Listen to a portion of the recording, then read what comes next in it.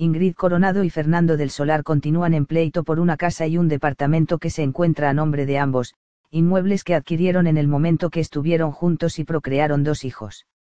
Con el fin de lograr la disolución de esa casa con un valor de más de 15 millones de pesos y del departamento de 6 millones, que se encuentra en Cuernavaca, el juzgado les propuso a Fernando e Ingrid llegar a un acuerdo, el cual sería vender los dos bienes y repartirse el 50%.